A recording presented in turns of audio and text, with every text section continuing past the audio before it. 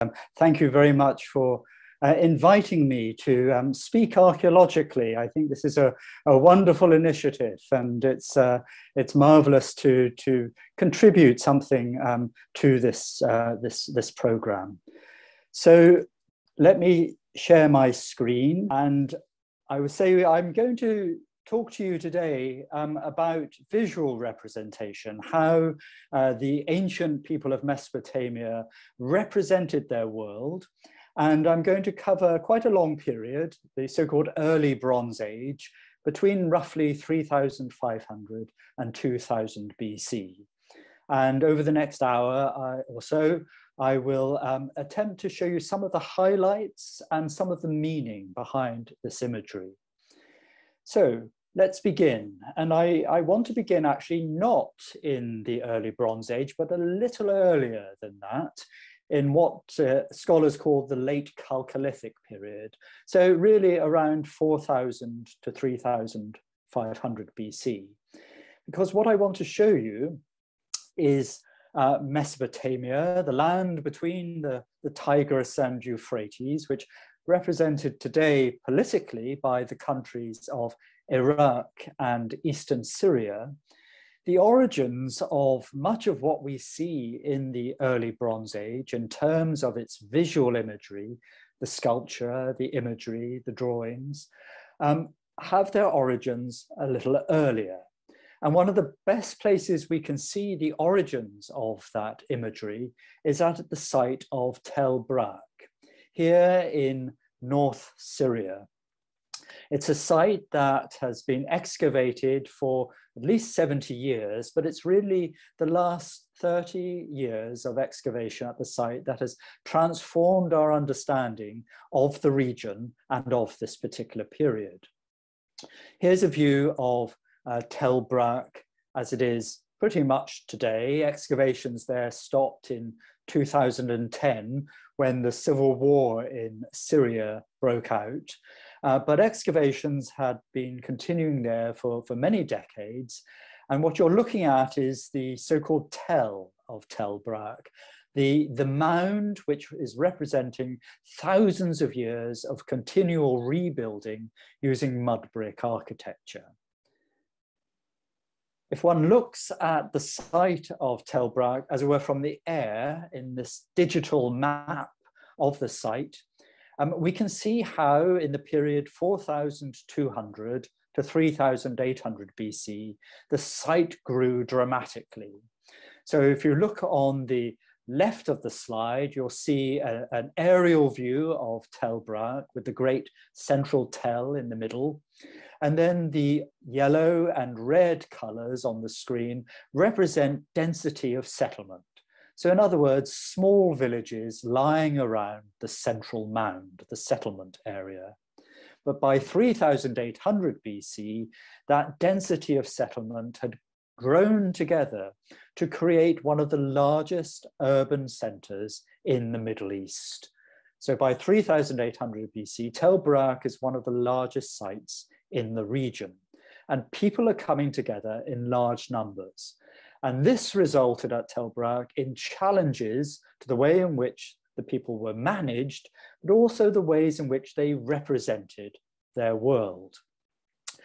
Now, if we look at Tel Brak around 4000 BC, we see that it's uh, areas of industrial activity with the production of textiles, uh, flint tools, as well as more exotic objects made from stones imported from long distance, such as obsidian from Turkey.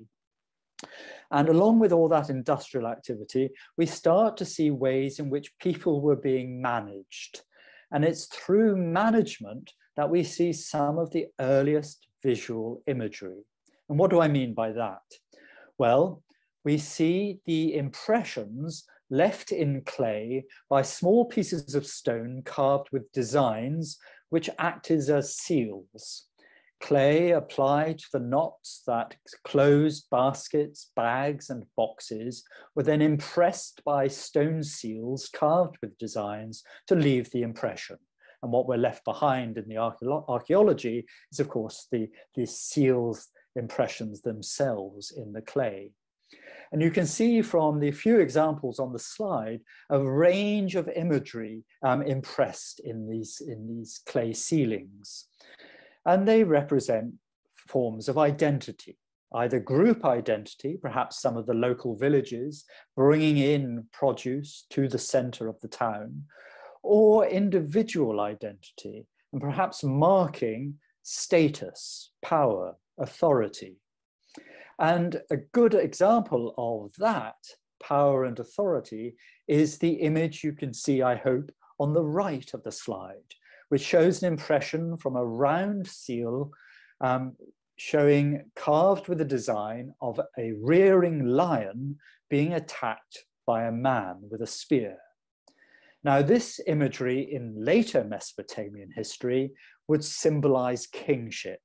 So perhaps already here, around 3800 BC, we have an individual who is marking his authority through this imagery, which would then become the standard form of representing authority in Mesopotamia.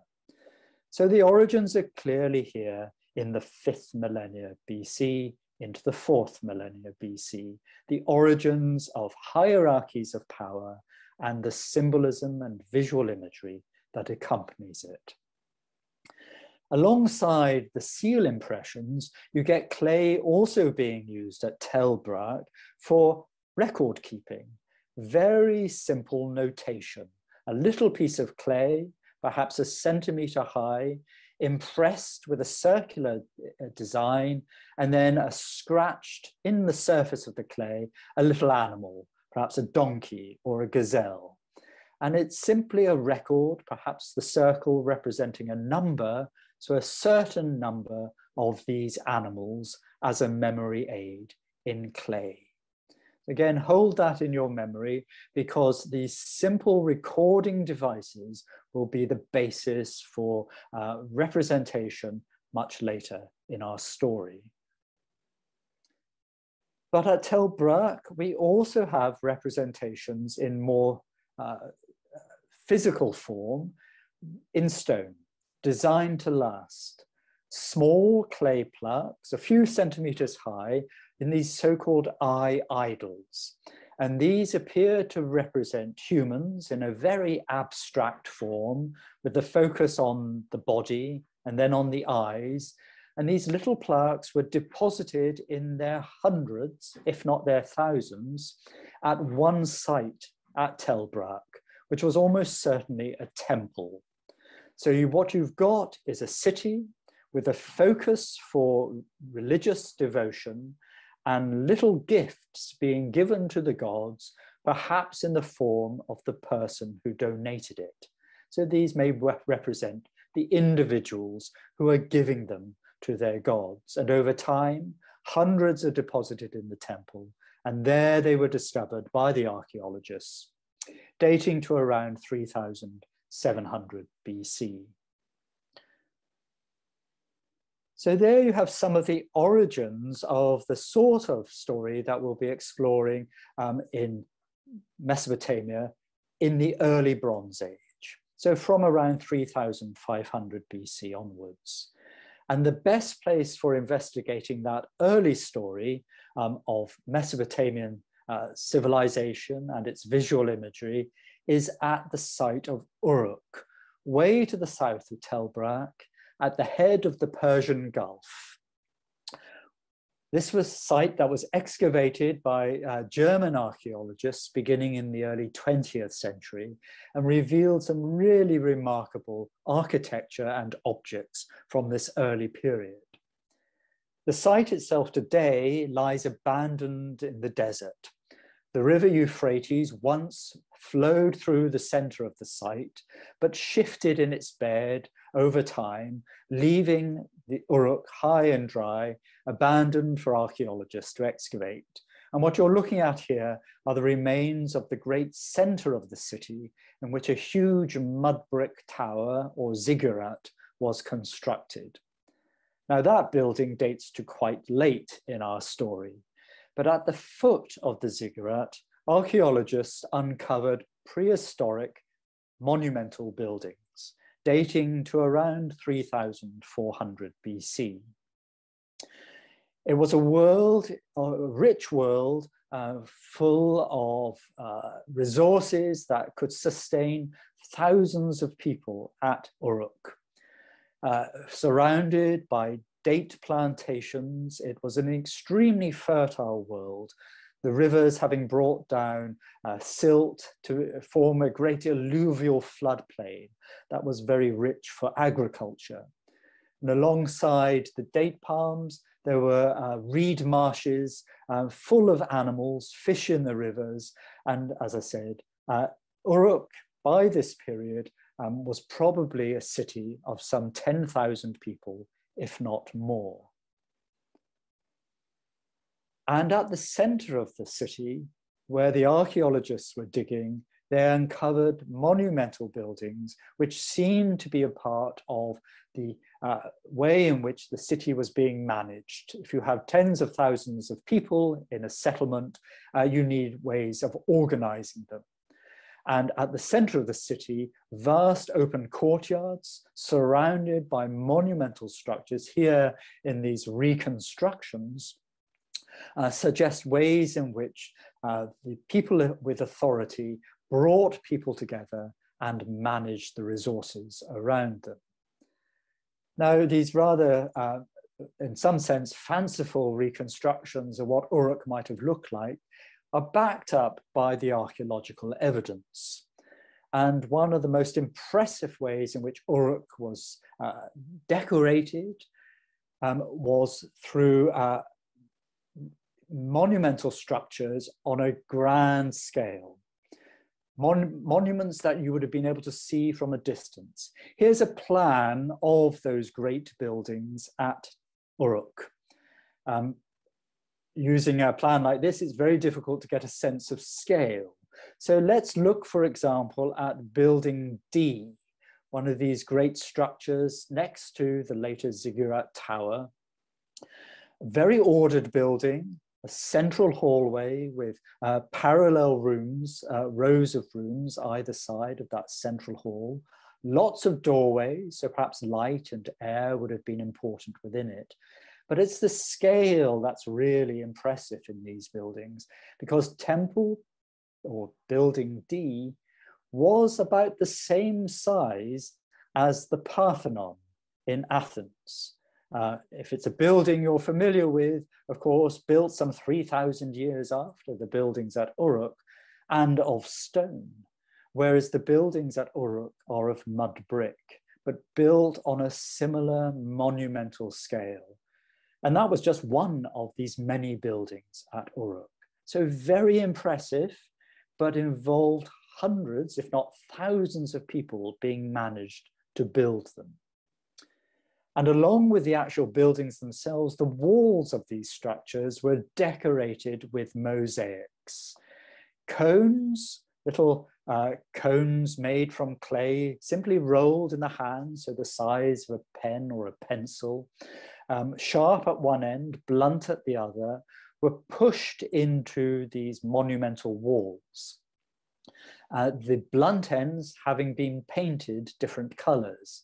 And the end result is mosaic patterns stretching over meters of these great buildings. So again, think about the number of people that would have had to be managed simply to decorate these buildings.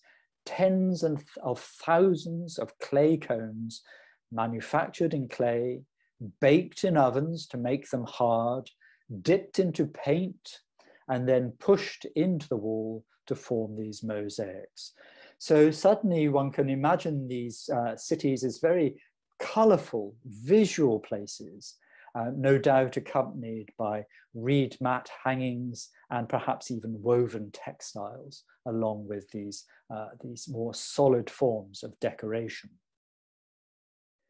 And inside these buildings, the archaeologists discovered attempts to represent the, the natural world around them.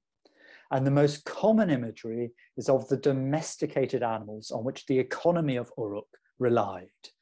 Sheep and cattle, domesticated animals that were, of course, uh, uh, cultivated for their meat, but more likely for the wool and leather from the animals from which textiles could be manufactured. And so we see in stone and clay wonderfully modeled images of these animals that were so important in the lives of these cities. And these cities, of course, were actually very rural worlds. They were very close to the natural world, to the fields around them in which these animals grazed, alongside the date palms and fields of uh, barley and wheat. Other animals uh, include, as I say, cattle. And here we have some more examples from Uruk, showing again the extraordinary naturalism of these carvings. And these little animals carved in stone, and then some of them, as you can see, inlaid with other materials, either precious stones like lapis lazuli or metals. Uh, the image in the top center, its legs are made from silver, there are no metal resources, no metal is found in Mesopotamia, so this had to be imported, showing the wealth and power and sophistication of sites like Uruk. These little animals were then deposited in temples, in those monumental buildings, as offerings perhaps to the gods, or as substitutes, as sacrifices for actual animals. So extraordinarily complex relationships being built in these early cities um, with temples and the gods at their center. Other imagery combines the domesticated animals of the farms, the cattle and the sheep with the dangerous forces that threatened them from the outside, beyond the city walls the wilderness of wild animals included lions. And lions, as we've already seen at Tel Brak, represented the most dangerous threat to these urban city centers. And here you can see some images in, carved in stone of lions attacking bulls and cows, uh, a, a recurring theme in the imagery of Mesopotamia from this time onwards and represents that close relationship between the ordered, domesticated, civilized world of city life and the dangerous world beyond the city walls, where uh, the dangerous forces of nature were always there as a threat.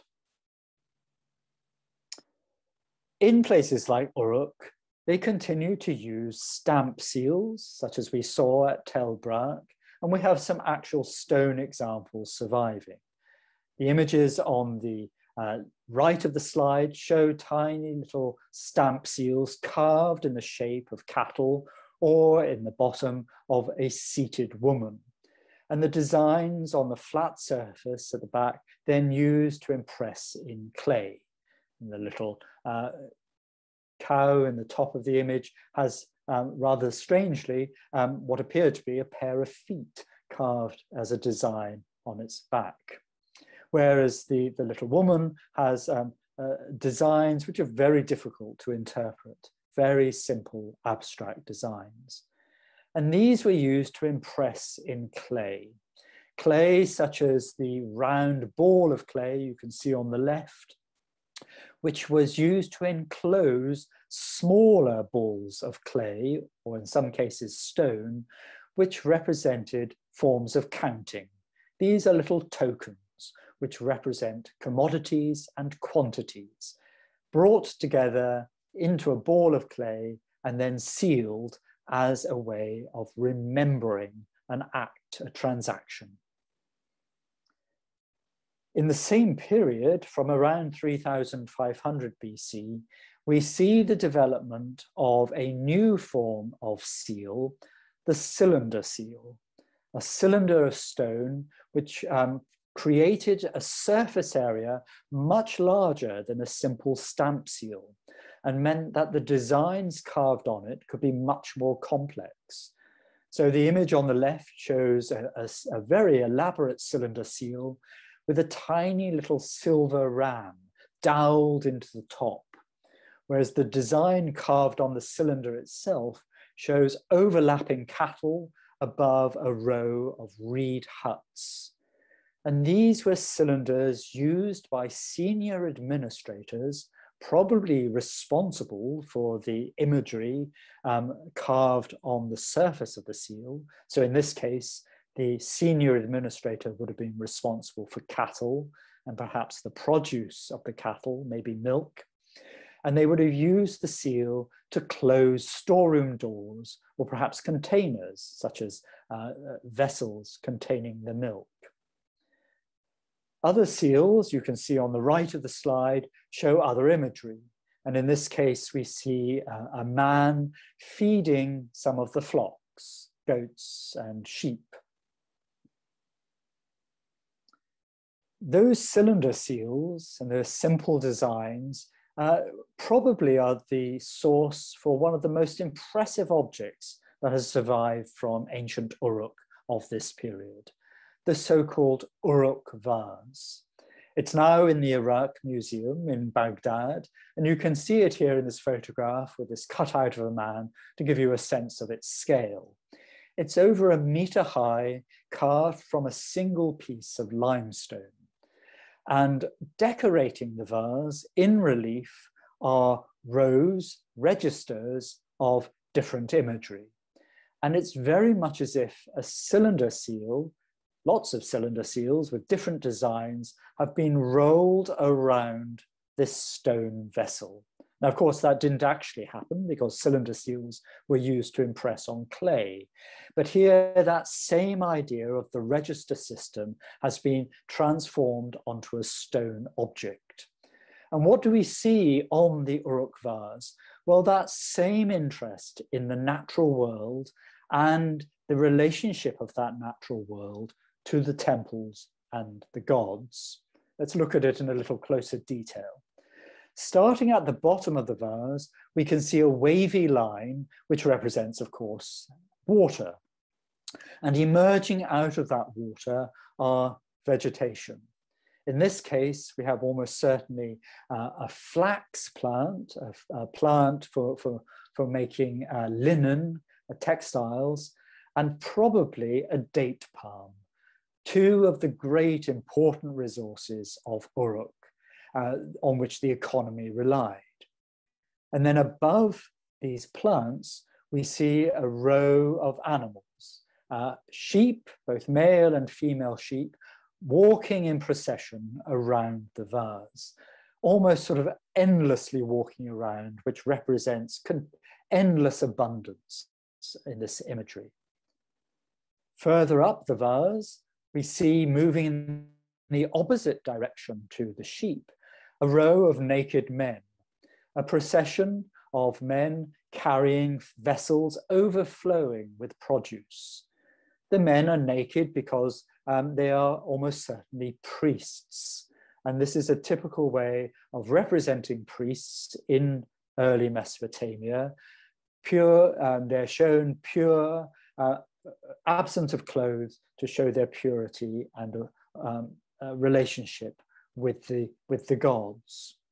And then in the very top of the Uruk vase, we see the largest register, the widest register, one of these priests presenting an enormous vessel full of produce, presenting it to a woman. She may be um, a, a high priestess, or perhaps the goddess herself, because we know from later evidence that the main goddess of the city of Uruk is the goddess Inanna. And she is a goddess of uh, fertility and uh, uh, procreation, uh, but also of aggression and power. And her symbol is uh, the thing you can see standing behind um, the, the woman. In fact, there are a pair of them, this large pole with a circle at the top and some sort of streamer at the back. This is the symbol of the goddess Inanna. If we move around that top register, we can see behind those standards the interior of what is probably the temple, full of produce that have been given to the gods, as well as some little statuettes and other carved imagery. This is probably what the interior of a Mesopotamian temple looked like. And we're seeing it here carved, represented in this uh, Uruk vase. So the procession of uh, the goods of the natural world brought the goddess in her temple, and she will then bless the world and continue to provide that abundance. We find images of uh, other forms of authority, as well as the gods, carved in sculpture from Uruk. This piece dating to around 3100 BC, the so-called Uruk priest king. And it is he who seems to be an important individual in the city. Um, he undertakes rituals, he undertakes uh, battles, he undertakes uh, the presentation of goods to the gods. So perhaps he represents, if not a king, at least a leading figure in society. We find him also involved in hunting. And remember again that little seal from Tel Brak, some 700 years earlier, but now carved on a great boulder um, at Uruk, um, a priest king shown twice, or perhaps two priest kings, spearing and hunting lions with a bow and an arrow. That relationship between the king and the lion, already, already very, very clear in Mesopotamian imagery. The priest king is also shown on cylinder seals, and here he's shown, in this particular case, having been rolled across a square piece of clay. Um, you can see the designs, I hope, impressed in the clay, covering the entire surface of this little tablet. A drawing at the bottom of the slides shows you the complete rollout of the cylinder seal. So this piece of clay was sealed with a cylinder seal and then after having been sealed, it was written on. And this little tablet represents some of the earliest writing in the world. Um, little circles representing numerals, reminding us again of that little tag from Tel Brak centuries earlier. But now, along with the impressions of numerals, you get little drawings scratched in the surface of the clay which represents the things being counted.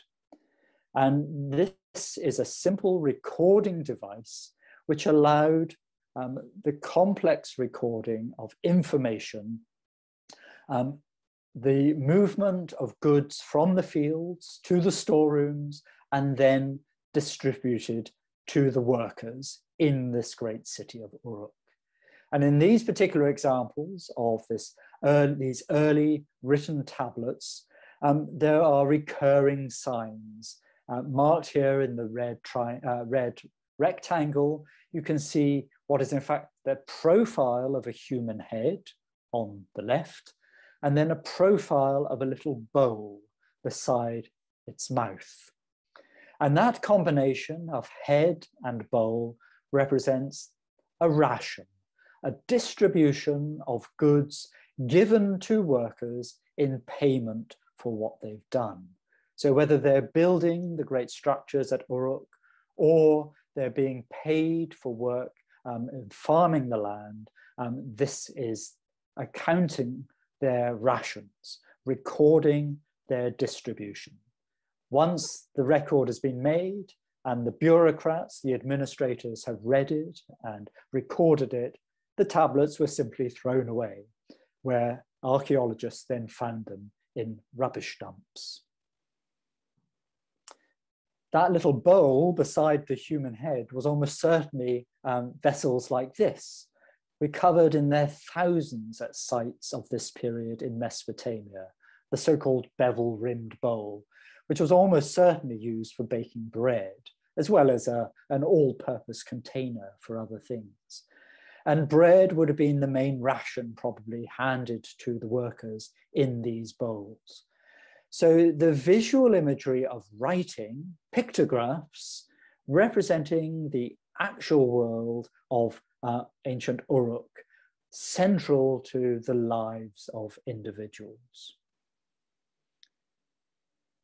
Now, by the end of the fourth millennium, the beginning of the third millennium, so around 3000 to 2800 BC, we start to see the combination of text and imagery, carved imagery, on stone objects.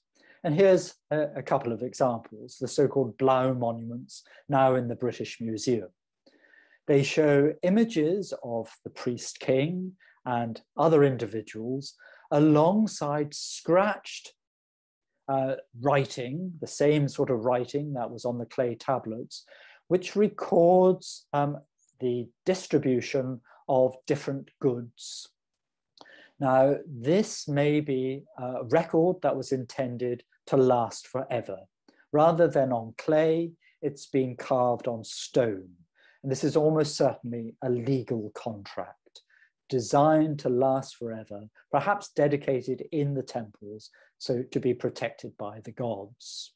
So text, writing, and imagery closely connected in Mesopotamia. That visual imagery, again, having derived from things like cylinder seals. And here's the impression of a cylinder seal showing a priest king holding up a little vessel just like he is on the Blau monument. Now, this is a tradition that will now continue through our next period, the next thousand years, in which images of individuals are associated with texts. This is the so-called Stela of Ushumgal, now in the Metropolitan Museum in New York. And you can, again, I hope, see written all over the monument this little scratched writing, increasingly becoming more wedge-like or cuneiform, as, um, as this writing is termed, wedge-like writing. This wedge-like writing can now start to be read and it records the Sumerian language. That writing records here the sale of a property and some goods. So again, it's very much a legal document.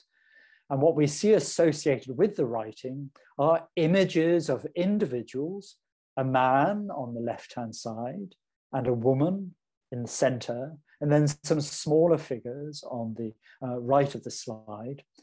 And the text tell us that this is a sale document, the transfer of goods from the priest Ushumgal, uh, who we know is the man on the left because he has his name written on his skirt to identify him. And he seems to be transferring these goods to the woman who is uh, represented in the middle. And they are shown uh, uh, as undertaking a ritual um, at the door of a temple. Again, the relationship between people and the temple and legal contracts very clear and close. Another example here, the figure plume in the Louvre Museum shows again an individual undertaking a ritual at the, at the front of a temple building represented by two large uh, columns with uh, what looks like light, light, bulbs at the top, but almost certainly can't be. Um, and then covered in writing, which again records probably the transfer of land or goods between individuals. Stone then used to represent the eternal relationship between humans and the gods. And that becomes very clear with figures like this, Sumerian votive figures. Wealthy individuals, those who could afford to have them made, would have images carved of themselves in the round, and these would then be carried into the temple, where they would be dedicated to the gods on behalf of the individual. Presumably, the idea was that somehow the statue remained connected in some way to the person who had commissioned them, and that the statue would then pray forever before the image of the god in the temple. And you can see that in early Sumerian society, men and women were represented. Uh, the women um, wear different styles of, of dress uh, and have very different elaborate hairstyle. The men can be uh, shown with beards or shaven, and some of them have very long uh, side locks of hair. And say these would have then been donated to the gods on behalf of the individual. Temples in Mesopotamia in this period were relatively small buildings, and therefore individuals would not have had access to the Holy of Holies, the place where the god was thought to live. So it would have been the priests who carried these into the temple itself. They continue to use cylinder seals, um, just as had been the case um, much earlier, but now the imagery on the seals changes from um, scenes of agricultural production and storage to more mythical, magical scenes. So some of them show uh, hero figures in combat with mythological animals or with lions and bulls. There are scenes of banquets, such as you can see in the bottom uh, left-hand side of the slide, uh, figures seated being served by individuals, again in register system, just like we've become familiar with on other imagery. Or perhaps my favorite little uh, cylinder seal is the one in the top right of the slide, which shows two individuals, a man and a woman, seated either side of a very large pot, which contains beer, and they're drinking that through straws. almost certainly a religious undertaking. And that religious undertaking is also shown on plaques such as this, which were designed to be, again, deposited in a temple. In this case, fixed to the temple wall with a nail which was driven through the hole in the center. Notice again that we're dealing with register systems, just like in the earlier Uruk vase, Again, thinking about those cylinder seal impressions and the authority represented by those seals. And in this particular uh, plaque, which comes from a site called Khafaje in eastern Mes Mesopotamia, um, we see um, in the lower register musicians, in the middle register, a procession of people, probably bringing sacrifices and other produce to the temple, and in the very top, a banquet just like on that cylinder seal, two individuals seated, a male and a female, being served uh, by uh, other individuals, being uh, perhaps being served wine in this particular case, um, and probably again in a temple setting. So Mesopotamia, the Sumerian civilization, um, had emerged on the alluvial plains of southern Mesopotamia. Uh, south of the region where the rivers come closest together, the rivers fan out across um, southern Mesopotamia before flowing into the Persian Gulf. And numerous city-states emerged in this region, which shared the same common culture. One site which grew to be particularly important politically was the site of Kish in the northern half of the alluvial plain. And at Kish, we have evidence for that political power in the form of a major palace building. Constructed from mud brick, it was decorated with inlays of slate and limestone, which showed processions of prisoners and soldiers towards a seated king. So here, around 2600 BC, we have some of the earliest imagery from Mesopotamia, which shows a king, a ruler of a city who is conquering other territory by leading his forces into battle. So although the earlier imagery was very much about the temple and its relationship with people, now we start to see that imagery of kingship come to the fore. And kings start to take over some of that earlier imagery for their own use. Kish dominates much of Mesopotamia perhaps for several centuries, but then other cities rise to power. And one of those cities um, was a, uh, a kingdom, um, the city state of Lagash. Lagash and its important city of Girsu. Now, Lagash in Girsu has produced some of the most extraordinary imagery, which represents this rise of kingship. We see here from ancient Girsu, modern Tello, this plaque it's a uh, stone plaque intended for a temple. Again, you can see the hole in the center, which allowed a nail to fix it to the wall. Covered in cuneiform writing, it tells us that this was dedicated in the temple by a king called Ur-Nanshe. And Ur-Nanshe is shown on the plaque twice. He's shown on the left uh, as the largest figure and therefore the most important, carrying a basket of soil on his head.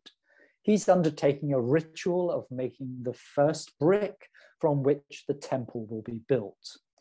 And then in the lower register, we see Ur-Nanshe again, but this time seated, holding a, a cup in celebration of the temple having been completed.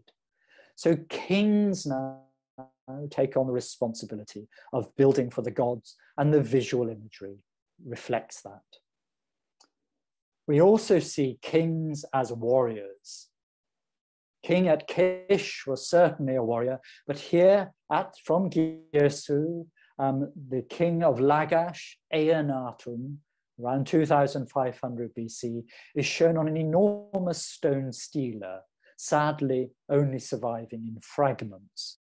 This is now in the Louvre Museum in Paris. We look at the detail of this stela. We can see on one side, in this case on the left-hand side, an enormous figure of a god who is shown standing and smashing the head of an enemy who's been caught in a great net. This is what the gods are going to do um, in heaven on behalf of their representative on earth, the king, who is shown on the right-hand side of this slide, on one side the stela in a series of registers. And Eannatum, the king, is shown leading his forces into battle on foot and in a chariot, and then celebrating success in a temple. Here's a detail of Eannatum in his chariot, and he's defined as a king by his outfit. He wears a fleece robe over his shoulder and over his body, made from sheep's fleece. Of course, sheep, um, such an important part of the life of Mesopotamia. And he wears a very distinctive helmet. His crown, if you like, is made from a helmet which has a band around it that holds his hair in place at the back in a bun, tied up at the back in a great knot. That headdress we know from other evidence. And we have an extraordinary example of one made from gold. Um, this again shows the headdress, the band around his head and his hair tied up at the back in a knot. Uh, so this is a headdress of kingship. And this was almost certainly, this gold example, almost certainly belonged to a king. It comes not from Girsu, but from another very important site, a powerful city state in southern Mesopotamia, the site of Ur at the head of the Persian Gulf. And there at Ur, archaeologists uncovered the burial place of what are almost certainly some of these kings and queens that were ruling over these cities. Here's a reconstruction of one of these burial places, a, a great grave cut into uh, the soil, um, a shaft leading down into what is essentially a big pit. And in one end of the pit, a stone tomb constructed, which contained the burial of the king or queen. But on the floor of the pit, most remarkably, were the remains of human beings and animals. And these are almost certainly sacrificial victims um, killed to accompany their ruler, presumably into a next world. along with these humans and animals, and in the tomb itself, were remarkable jewelry that covered all these bodies. Uh, so again, dating to around 2500, 2400 BC, we see gold and lapis lazuli and carnelian um, covering uh, the, the remains of these individuals, an extraordinary wealth of these cities. And I remind you, there is no metal and very little stone, certainly none of stones like this, in Mesopotamia itself. This all has to be imported. So again, reflecting the wealth and power of these cities. One of the most famous objects from the so-called royal graves is the so-called Standard of Ur. And we show, see inlaid in, into this strange box-like uh, uh, object uh, using blue lapis lazuli and then she uh, shell carved in designs. We can see processions, just like we saw on the stone plaques and on cylinder seals, but now this is about kingship. And in the top register, we see the king, larger than everybody else, seated in his fleece skirt um, with uh, uh, rows of individuals before him. On the other side of the standard, we see a different scene, in this case, the king as the warrior rather than uh, celebrating uh, the peace as on the other side. And here he is in the center of the scene in the top register, again, larger than everyone else, holding a spear while his chariots in the lower register defeat his enemies. That wealth of material, gold, lapis lazuli, silver, carnelian, was all being imported from Iran to the east or up the Persian Gulf um, from uh, the uh, world further east, um, flowing into Mesopotamia and then being used to decorate exotic objects in the royal graves. Objects like this, which represent um, the world as imagined by the Mesopotamians out to the east, a world where animals acted as humans and you had strange mythical creatures living in the mountains all that was brought to a head, brought to unity, if you like, by a, a, a, city located somewhere in the region, as indicated by the arrow, the city of Akkad or Agade. And the rulers of Akkad um, unified all the Sumerian city states into an empire. So through conquest, uh, all the cities like Ur, Lagash, Kish were brought together into what is probably the world's first political empire. And we see some of that imagery of these kings of Akkad. King Sargon, uh, his imagery, looking very, very similar to the sorts of imagery we've already seen. Processions of individuals, including the king, as well as great battle nets carved on stone. But as we move through the Akkad period, this period of empire, we see the imagery change to much more naturalistic and really quite extraordinary imagery. So here from the son of Sargon, Manish-Tushu, a little later, um, a wonderful image of the king where you can see his robe actually moves, um, uh, carved very beautifully and to show the movement of the textile as the figure moves. And that naturalistic take on uh, the imagery really reflected in objects like this. This is a, a, a cast bronze head, probably of Manish-Tushu, but um, it's difficult to know which Akkadian king is represented, but an almost life-size image of um, this absolute monarch. Similarly, on cylinder seals of this period, whole range of new imagery, but particularly that of the gods being brought together in a collection of gods, a pantheon of different gods brought together and beautifully carved. But perhaps the greatest masterpiece of this period, of this Akkad Empire, is the stela of Naram Sin. Um, he is almost certainly the most powerful of these Akkad kings.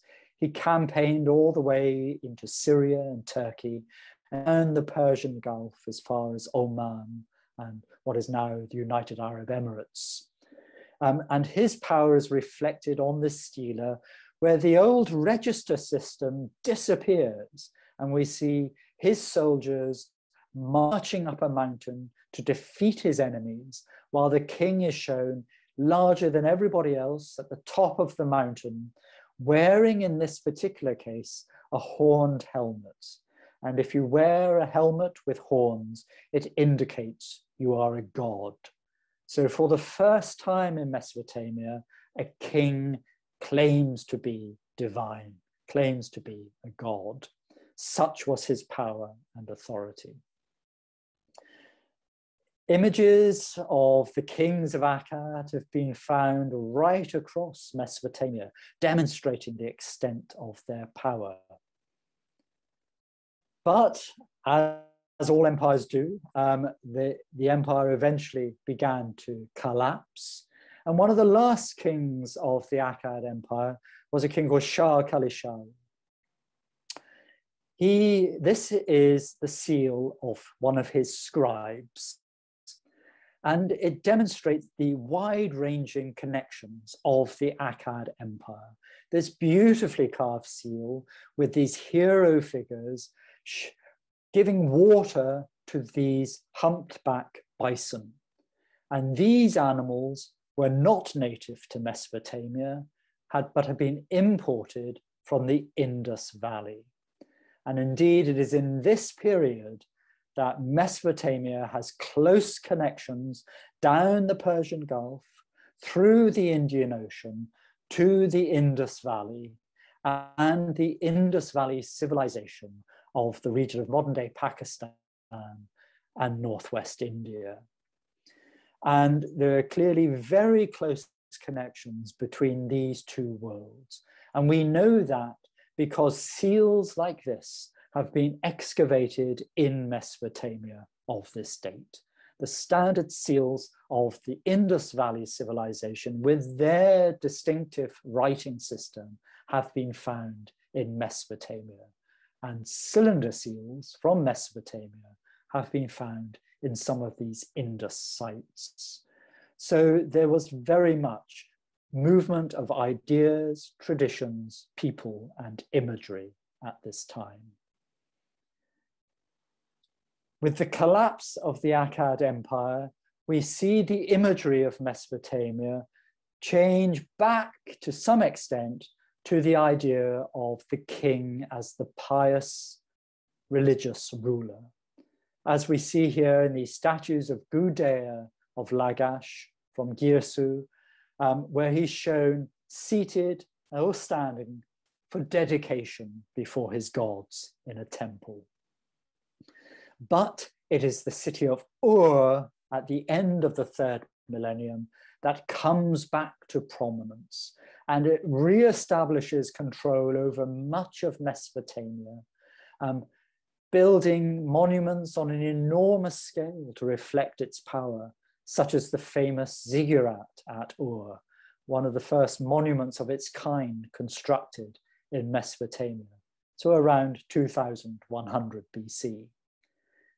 And the empire of Ur stretched out through Mesopotamia out into the highlands of Iran.